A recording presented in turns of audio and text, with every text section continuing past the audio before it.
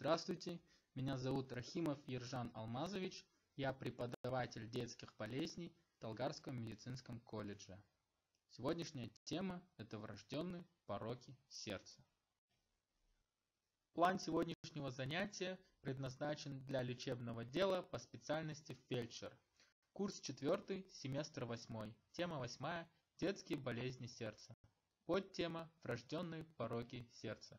Студент должен уметь проводить курацию и осмотр больных с пороками сердца, знать клинику, ставить прогноз и иметь понятие о плане лечения. Что такое врожденные пороки сердца? Это аномалии морфологического развития, то есть анатомического развития сердца и магистральных сосудов, таких как аорта и легочный ствол, возникшие в результате нарушения процессов эмбриогенеза. Этиология, точнее причины.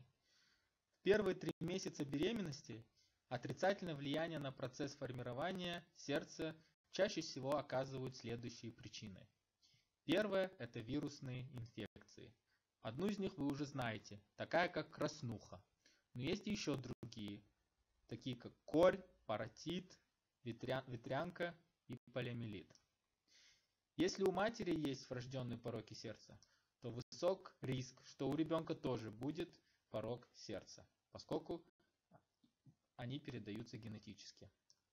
Вредные привычки матери, такие как алкоголь, курение, очень плохо влияют на развитие ребенка в первом триместре.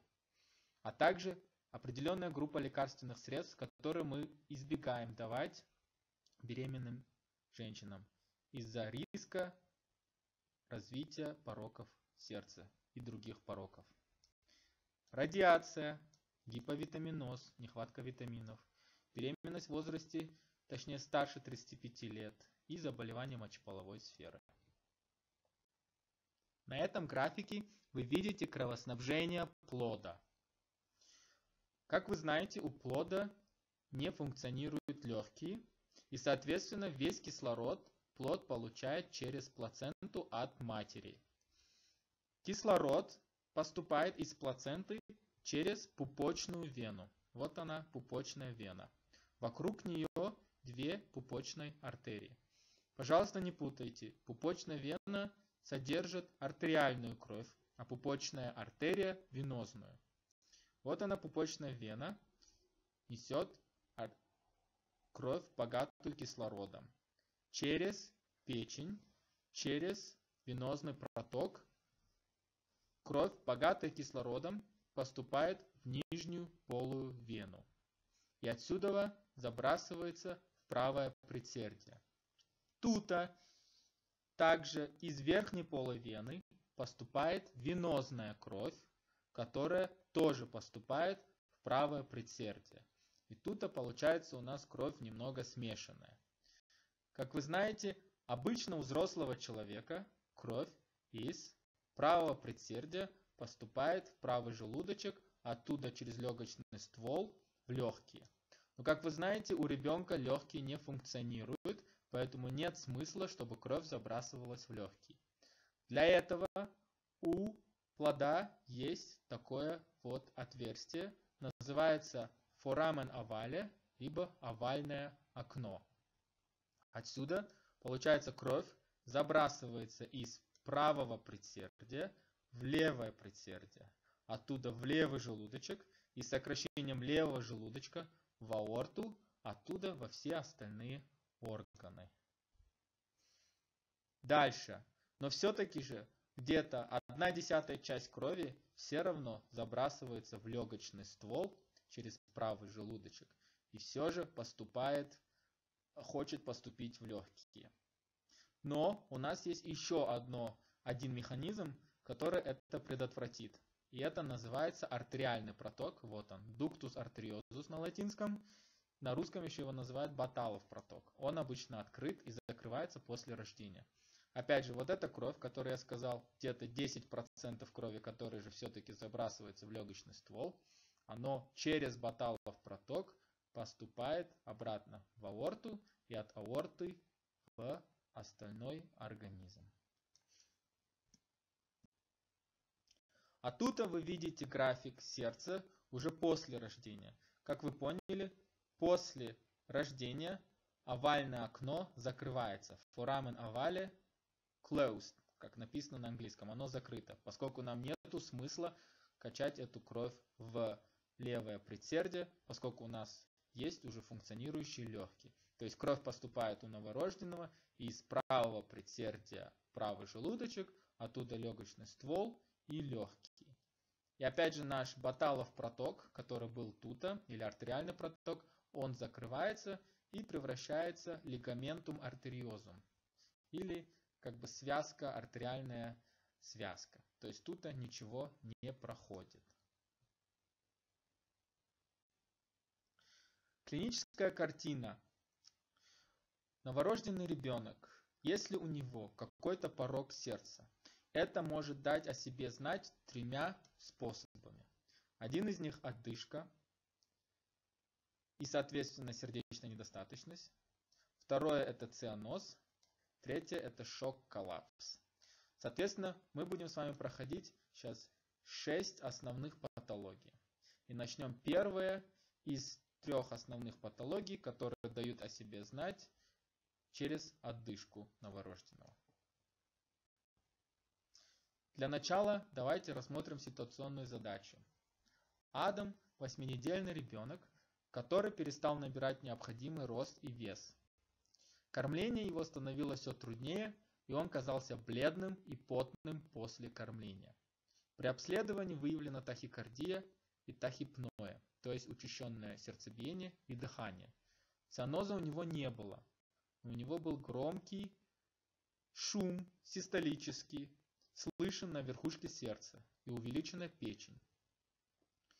Он был срочно направлен на эхокардиографию. Хочу, чтобы вы тут обратили внимание на следующие особенности. Он восьминедельный ребенок, и он перестал набирать вес. Это не очень хорошо. У него тахикардия и тахипноя. У него шум сердца и увеличена печень. Тахипноя, увеличенная печень, шум сердца говорит о том, что у него где-то застой крови и развивается сердечная недостаточность. Поэтому он срочно был направлен на эхокардиографию. У Адама дефект межжелудочковой перегородки. На этом графике вы видите очень иллюстрированно показано, где находится дефект межжелудочковой перегородки. Вот она, межжелудочковая перегородка. Обычно она полностью закрывает. Когда у нее дефект, получается кровь может спокойно проходить из левого желудочка в правый желудочек. Почему именно из левого вправо? Потому что в левом желудочке всегда давление больше. Врожденный э, дефект межжелудочковой перегородки – это самый часто встречаемый врожденный порог сердца.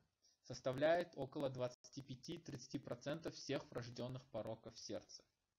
Если этот дефект очень маленький, обычно у пациентов нет никаких симптомов. Мы называем это асимптоматичный. Или у него шум, систолический шум. Если же дефект большой, то шума мы особо не слышим, но больше мы замечаем у ребенка отдышку, проблемы с кормлением и пот. Это все признаки сердечной недостаточности из-за застоя в малом кругу кровообращения. Давайте мы вам это объясним. Тут вы видите, что большинство крови артериальная в левом желудочке выкидывается в правый, поскольку давление в левом больше. И получается так, что в правом желудочке и в малом круге кровообращения слишком много крови. Получается тут застой. И кровь застаивается вокруг альвеол и начинается отдышка. Если это не лечить, повышенное давление в легочном стволе со временем приведет к легочной гипертензии, то есть повышенное давление – легочном стволе. Это называется легочная гипертензия. И если это давление будет слишком высоким, то кровь начнет теперь уже поступать в обратном направлении, из правого желудочка в левый. Это называется синдром Айзенменгера. И когда он происходит, это говорит о том, что уже идут необратимые изменения и срочно требуется операция. Обычно оперируют детей где-то после одного года, потому что большинство дефектов межжелудочковой перегородки закрываются к 6-12 месяцам. Также до операционного периода лечим мы этих детей такими препаратами, как диуретики, фуросемид, хлортиазид, АПФ-ингибиторы. Вспомним, что эти же препаратами мы лечим сердечную недостаточность у взрослых, поскольку механизм в принципе очень похож из-за застоя в малом кругу кровообращения. Только у взрослых застой в малом кругу кровообращения был из-за того, что у нас была левосторонняя желудочковая недостаточность. А у новорожденных или у детей это из-за проблемы, из-за дефекта межжелудочковой перегородки.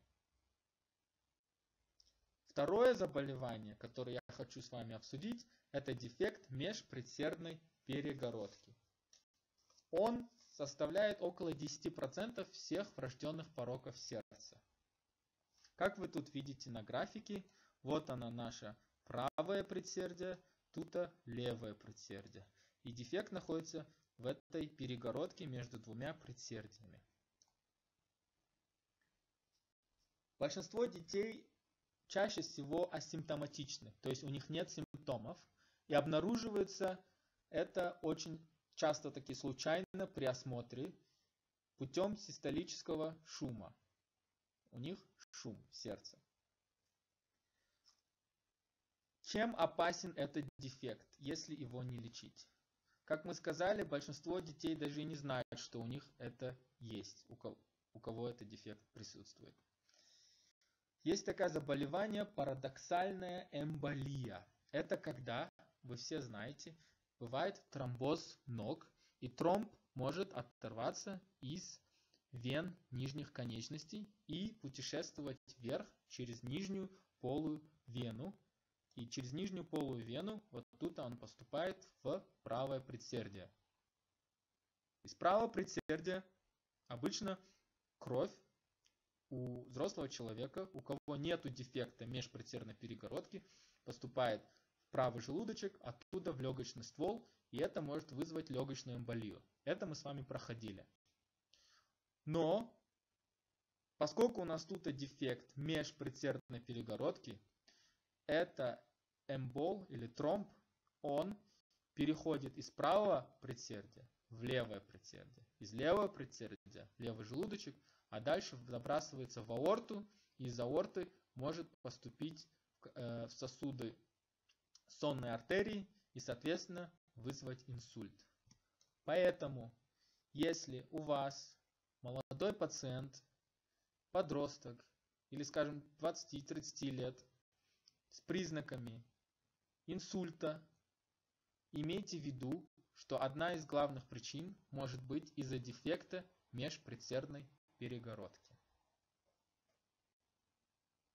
Третье заболевание, которое я с вами хочу обсудить, которое тоже вызывает одышку, это открытый артериальный проток.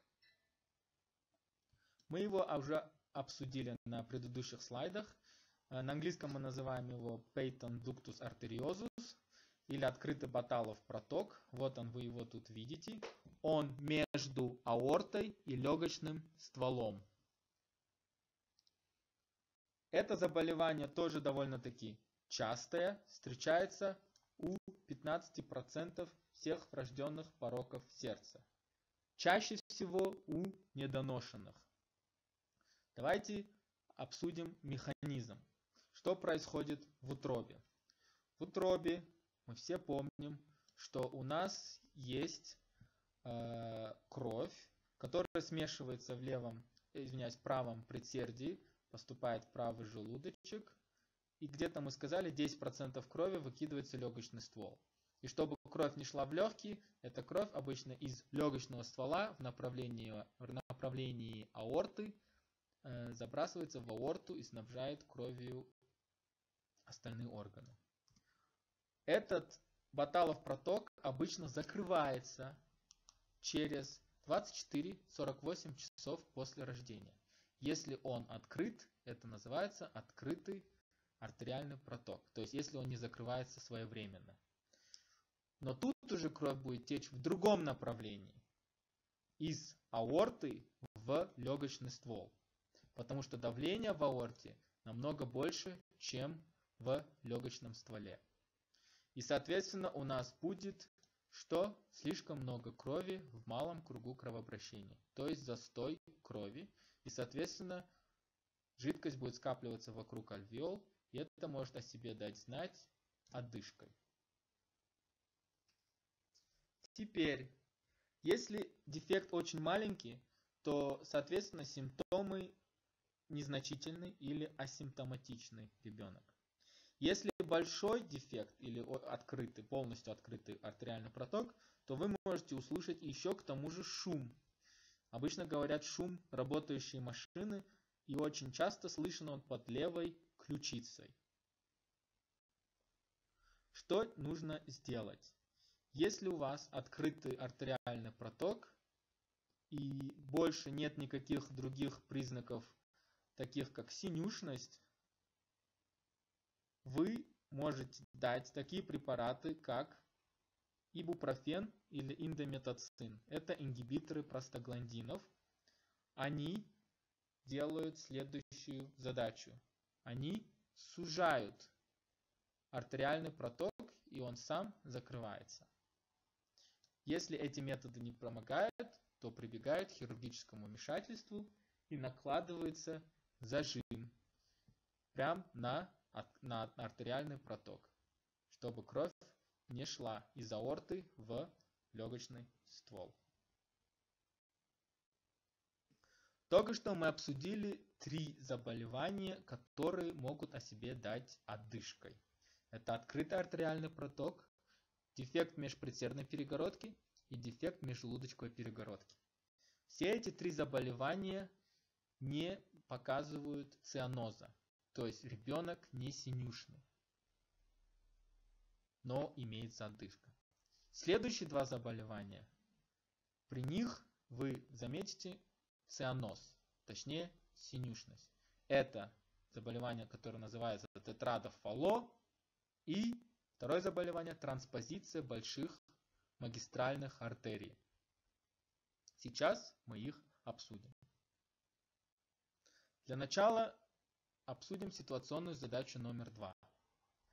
Эмма родилась здоровой новорожденной, но акушерка заметила цианоз после 6 часов после родов. Отдышка отсутствовала. Пульсоксиметрия показала насыщение кислородом 66%. В норме это больше 95 должно быть. Ей дали кислород но кислород не улучшил показания оксиметрии Эммы. Диагноз, вероятнее всего, цианотический врожденный порог сердца. И ей дали профилактическую инфузию простагландина Е. Эмма отправлена срочно на эхокардиографию. У Эммы транспозиция больших артерий. Что это такое? Как вы знаете, в левом желудочке всегда артериальная кровь, а от левого желудочка отходит обычно аорта у нормальных детей, а из правого желудочка отходит легочный ствол. При транспозиции больших артерий все меняется. Из левого желудочка теперь отходит легочный ствол, а из правого желудочка отходит аорта. Получается, в правом желудочке венозная кровь, и эта венозная кровь отходит в аорту и снабжает весь организм венозной кровью. Отсюда и синюшность. А в левом желудочке артериальная кровь. Она отходит в легочный ствол, оттуда в легкие и опять обогащается кислородом, обратно возвращается в левый, левый предсердие и левый желудочек. Получается, в малом круге кровообращения всегда артериальная кровь, в большом круге кровообращения всегда венозная кровь. Как вы поняли, это несовместимо с жизнью, если только кровь не смешивается. И кровь может смешиваться за счет открытого артериального протока, то есть открытого баталового протока. При открытом баталовом протоке наша артериальная кровь в легочном стволе закидывается в аорту и хоть немножко делает кровь более артериальной, смешанной. Теперь это заболевание примерно встречается 5% всех врожденных пороков сердца. Как мы сказали, это несовместимо с жизнью, если только нету открытого баталового протока. Но как вы знаете, баталов проток, он закрывается в течение 24-48 часов после рождения. И симптомы начинаются в это время. Как мы будем лечить? Нам в первую очередь нужно дать такой препарат, как простагландин Е, чтобы этот баталов проток не закрывался. Вторая вещь, которую мы можем дать, это искусственно создать дефект межжелудочковой перегородки или межпредсердной перегородки, чтобы кровь смешивалась и артериальная кровь поступала в венозную, большой круг кровообращения. И третий – это хирургическое лечение в течение двух недель после рождения, чтобы поменять аорту с легочным стволом. То есть пересадить аорту, где должен был быть легочный ствол, а легочный ствол, где должна отходить аорта. Второе заболевание, которое тоже дает синюшность, это тетрадофало. Оно наиболее распространенная форма синих пороков сердца, протекающих цианозом. Встречается в 5-10% всех врожденных пороков сердца. Оно включает в себя четыре вещи, как вы поняли от слова тетрада. Первое – это стеноз легочной артерии. Второй – это дефект межжелудочковой перегородки. Третье – транспозиция аорты вправо. И четвертое – гипертрофия правого желудочка. Сейчас мы разберем каждую из этих четырех аномалий на следующем слайде. Слева вы видите нормальное сердце, а справа сердце у ребенка с тетрадофало. Как мы сказали, оно состоит из четырех вещей. Первая вещь – это стеноз легочной артерии или легочного клапана. Вот вы видите тута, частичная непроходимость правого желудочка и клапана легочной артерии. А слева это все норма. Все чистенько, все аккуратненько. Из-за этого стеноза кровь нормально не может поступать куда? В легочный ствол. Соответственно, правый желудочек гипертрофируется. То есть второй, второй компонент тетрадофало это гипертрофия правого желудочка. То есть первый компонент это сужение или, скажем так, непроходимость или стеноз легочного, легочного клапана. Второе это, соответственно, гипертрофия. То есть желудочек старается работать намного сильнее, чтобы качать эту кровь. Третье – это дефект межжелудочковой перегородки. Вот она, межжелудочковая перегородка, тут дефект. А вот вы видите слева, что это все нормально, без патологии. Справа вот он дефект. И четвертое – это декстропозиция аорты. То есть аорта расположена вправо, декстро. Она прямо сидит над межжелудочковой перегородкой. Получается кровь венозная, под давлением не может попасть нормально куда нужно, легочный ствол, и она попадает в левый желудочек и смешивается с артериальной кровью и забрасывается в аорту. Получается, венозная кровь забрасывается в артериальную, то есть справа влево, и это дает синюшность. Теперь, обычно синюшность развивается, когда ребенок бегает. Но когда у него резко начинается эта синюшность, он прибегает к следующему методу. Он садится или она садится на корточки. Что это дает? Когда садится ребенок на корточки, это сужает сосуды и давление повышается в аорте. Получается тут высокое давление. И получается сердцу тяжело качать кровь в аорту. И получается кровь теперь больше уходит в правую сторону, в правый желудочек. И пытается как можно больше крови поступает в легочный ствол, чтобы обогатиться кислородом. Эти дети должны быть прооперированы, поскольку если не лечить эту синюшность, регулярные такие припадки могут быть летальными.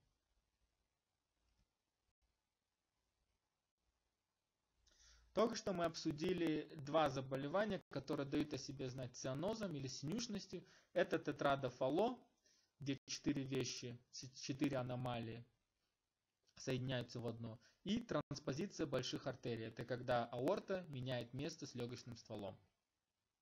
И последнее заболевание, которое мы сегодня обсудим, это называется коарктация аорты. Она дает о себе знать путем шока, коллапса или потери сознания. Для начала рассмотрим последнюю ситуационную задачу, задачу номер три. Эдуард, четырехдневный ребенок, был выписан из родильного отделения после обычного осмотра. Через несколько часов он потерял сознание и был срочно госпитализирован. Он был бледен, со слабым пульсом над плечевой артерией, а пульс над бедренной артерией вообще отсутствовал. У него были хрипы, тахипноя и выраженная дыхательная недостаточность. У Эдуардо коарктация аорты. Что это такое? Это сужение аорты. Слева вы видите нормальную аорту, дугу аорты, а справа коарктированную, то есть суженную. Обычно коарктация аорты происходит в той части дуги, после того, как отходят основные сосуды, которые снабжают головной мозг и верхние конечности. В таком случае получается, что у нас больше крови поступает в верхние конечности и меньше крови поступает в нижние конечности. Соответственно, давление в верхних конечностях у нас больше, чем в нижних. Получается, давление на руке будет выше, чем на ноге. Пульс, соответственно, в нижних конечностях, бедренной артерии чаще всего будет отсутствовать. Это заболевание дает о себе знать обычно в первые сутки после рождения, после того, как закрывается открытый аортральный проток. И наша главная цель, чтобы этот проток не закрылся полностью. Поэтому лечение похожее, как при транспозиции больших артерий, это введение простагландина Е. Этот препарат действует на аортральный проток, держит его открытым до того, пока идет подготовка к хирургическому вмешательству. Сегодня мы обсудили 6 основных заболеваний пороков сердца у детей, которые дают о себе знать разными путями, такими как отышка, цианоз или потеря сознания.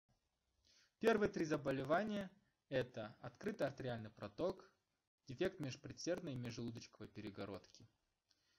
В этих всех трех заболеваниях присуща одышка и сердечная недостаточность из-за того, что слишком много крови выбрасывается из левой части сердца в правую и, соответственно, загружается малый круг кровообращения и происходит застой в малом кругу кровообращения и вокруг альвеол. И это приводит к одышке. Вторая группа заболеваний дают о себе знать цианозом. Это заболевание тетрадофало и транспозиция больших артерий. В этом случае присуща синюшность. В этих группах заболевания, наоборот, кровь из правой части желудочка направляется в левую часть. И, соответственно, венозная кровь смешивается с артериальной и выбрасывается в аорту. Из-за этого синюшность. Третья группа заболеваний дают о себе знать шоком, коллапсом или, как мы говорим, потеря сознания. В этой группе заболеваний относится коарктация аорты. Тут идет сужение аорты, соответственно, она не может доставлять в достаточном количестве кислорода куда нужно и развивается коллапс. Спасибо за ваше внимание. Если есть какие-нибудь вопросы, не стесняйтесь задавать. Всего хорошего.